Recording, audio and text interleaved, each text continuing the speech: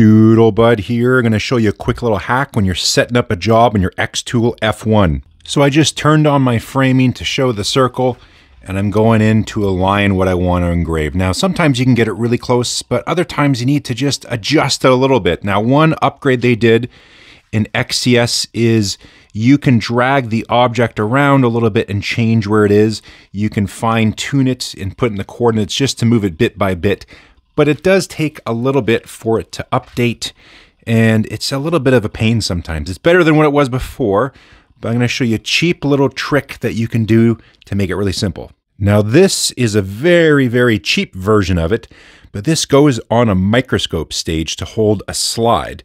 I got this from AliExpress. This thing was mega crooked. This top slide was probably at a good uh, 10 degree angle to this one but is able to adjust it. And this just has, again, these are cheap and plastic. You can get very expensive ones, but this is good enough for what we do. I'll leave a link down below.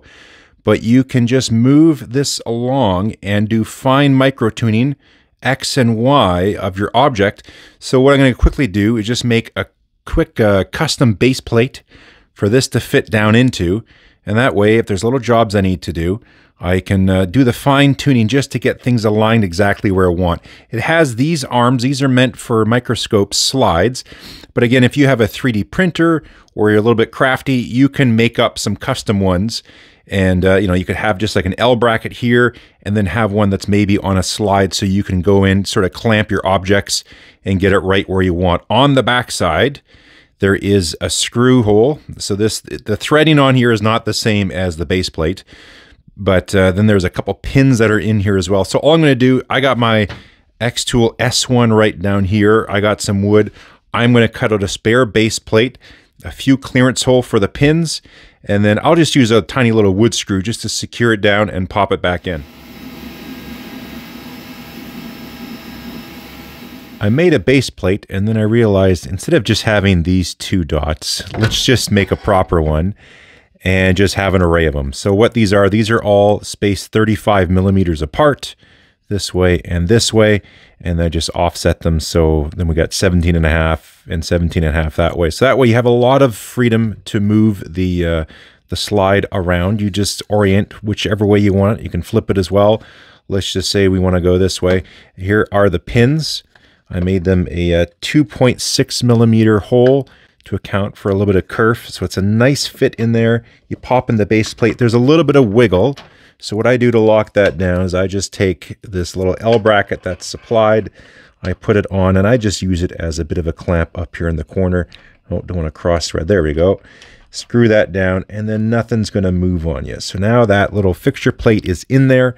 Let's uh, show you an example. I turned on the framing. You just open this up clamp it down. Now again, this might not suit what you're doing, so you can uh, play around with this fixture and then you just adjust it and you got really nice granularity.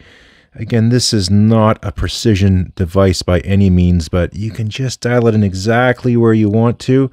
And let's say that's where it's at. Great. You go ahead, you do your engraving, pop it out, and then you just go to your next one and your next one and your next one and there you go. Well, that's it. Quick, easy little project. If you're interested in something like that, I'll have a link down below. Again, I got this on AliExpress. This is not high quality whatsoever. I paid a whopping, I think it's like $17 Canadian for this. It did take a while to arrive. And if you want, I guess I could throw on the file in the description. Somehow I found a place to put it, but I'll put the file if you want to make one of those. You can just go ahead, chuck it into your system and do it up. So this is super handy. Also keep an eye out.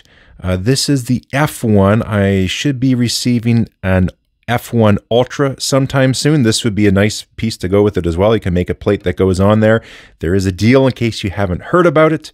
If you put up a $100 deposit towards an F1 Ultra, you get a $1,000 credit for when they go ready. I'll have a link down below for all the details along with this little uh, slide attachment as well. Anyways, we'll leave it there. If you found this video handy, which I hope you have, hope it's helped someone out, hit a thumbs up, leave a comment down below, and hit subscribe if you haven't. Until then, we'll catch you next time.